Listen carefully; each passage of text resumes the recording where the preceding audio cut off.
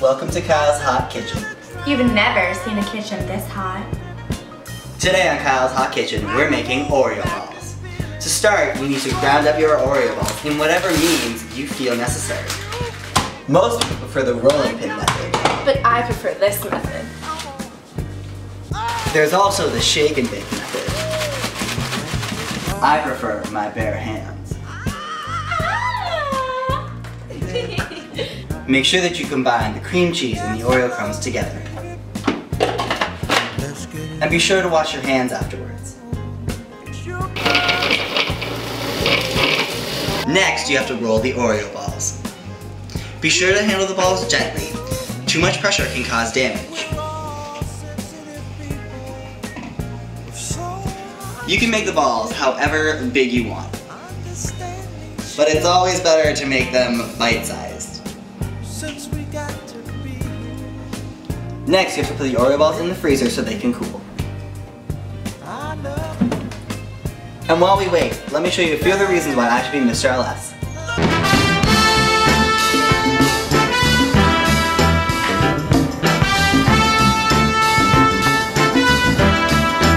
Next, you need to melt the chocolate to dip the Oreo balls in.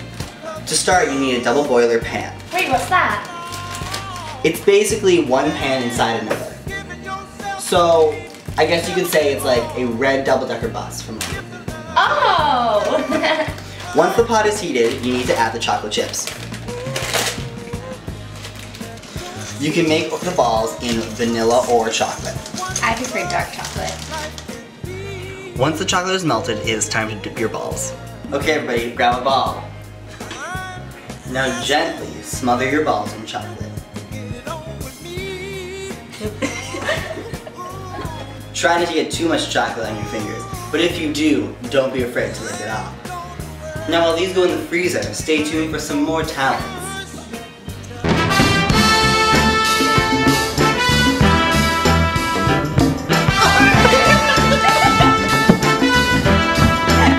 Once the chocolate is cooled, it's time to drizzle your Oreo balls in white chocolate.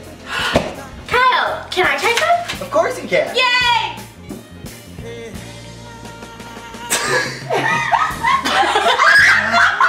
Make sure you cover each one of your Oreo balls with some white chocolate. It always tastes the best with it.